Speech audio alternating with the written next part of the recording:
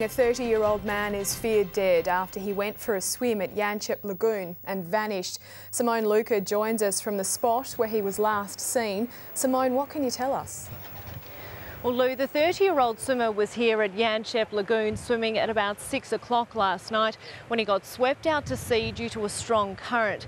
His family and friends who were on the beach called police when they could no longer see him. A search was commenced about 20 minutes later but was called off shortly after. The search resumed again this morning. The police chopper scours the coastline between Yanchep and Two Rocks. At first light, Water Police, Volunteer Marine Rescue, two surf life-saving jet skis, divers and land police joined in the search. We're hopeful that uh, maybe he may even walk onto uh, to the beach at some stage. Family and friends of the 30-year-old man watched on from a cliff nearby. The Yanchep local was swimming out to this marker when he was pulled out to sea by a strong undercurrent. His friend last spotted him about 200 metres up the coast.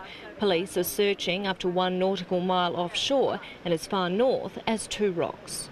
That has included uh, water police, divers from Water Police as well, uh, jet skis again from the Surf Life Saving Society, uh, and uh, the Volunteer Marine Rescue Group from Two Rocks. The Yanchep Lagoon is a popular swimming spot, but Surf Life Saving WA says the calm waters can fool swimmers as underneath the reef is a well-known strong current.